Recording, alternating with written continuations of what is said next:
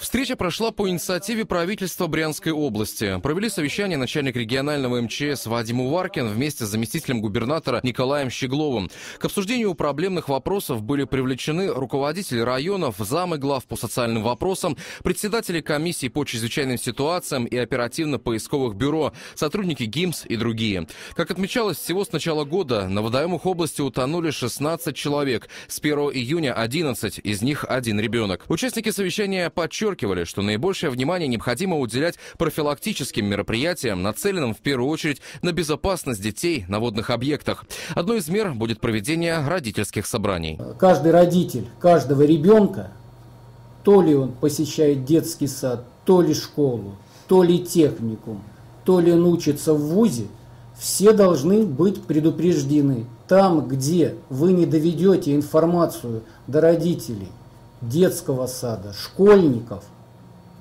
техникумов и вузов под роспись. Ситуация напряглась.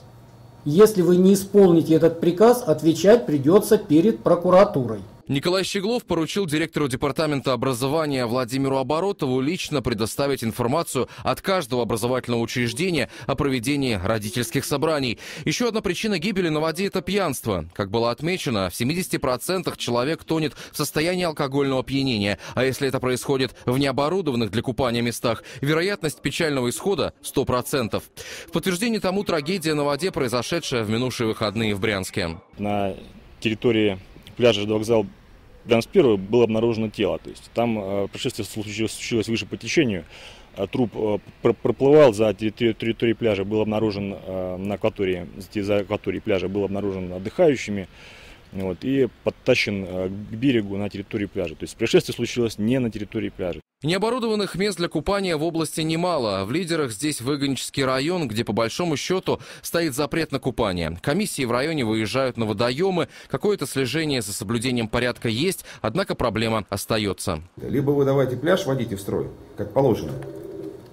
Единственный район области остался, который не выполняет решение. Ни оперативное совещание, ничего вообще.